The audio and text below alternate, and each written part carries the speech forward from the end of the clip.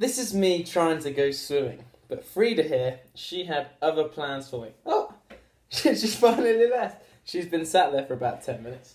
Anyway, Frida here reminded me of this thought that I heard some while ago about how humans have actually been enslaved by animals. And think of all the domesticated creatures we have from cats, dogs, horses, sheep, and many more.